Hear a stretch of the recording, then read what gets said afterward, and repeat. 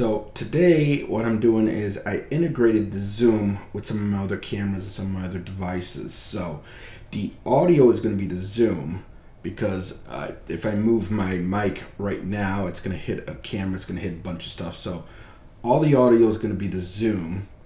And this is my Canon M50 Mark II with a Sigma 60 millimeter lens.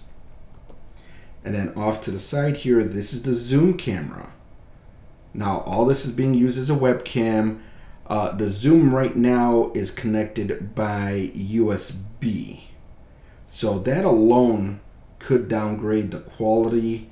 Again, I'm still playing with it, trying to test it, different angles, uh, trying to adjust a little bit, but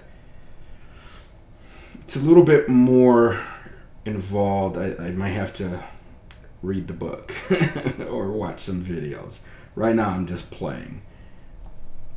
Uh, right here is kind of close because literally it's right here.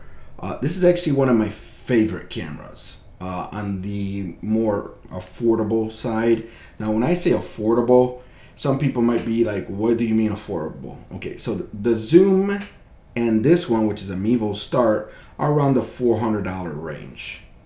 Whereas the Canon is more of the, what, six, 700 than the lens and all that. So the, the Canon with the lens is closer to a thousand. Some people might say that's still budget. I don't.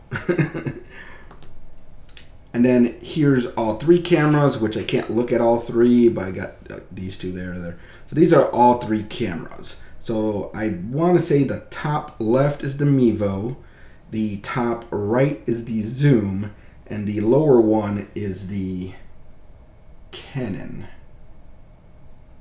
Nope, I messed this up. Give me a second.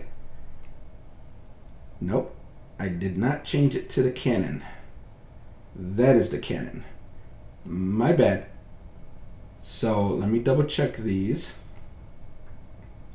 So the rest are correct. So I have the top left is the Mevo, top right is the Zoom, bottom is the Canon. And then my drop down, which is also a Mevo.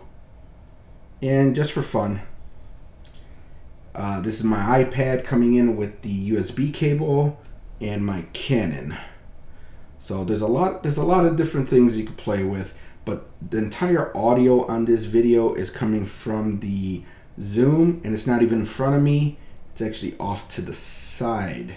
So I'd be kind of curious to, to hear the audio and see how it was, especially the syncing with the three different cameras. And that's going to be it for this video.